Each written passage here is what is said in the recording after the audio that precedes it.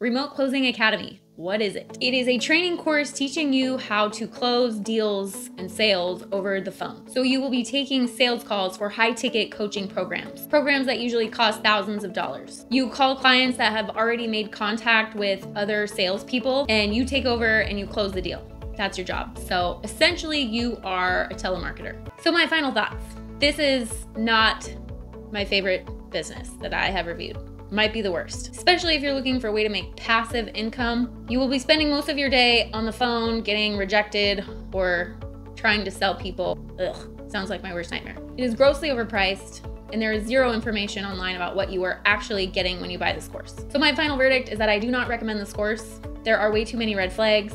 It is not passive. You don't actually know what you're really getting when you buy it. You don't actually know the real price. All around bad vibes.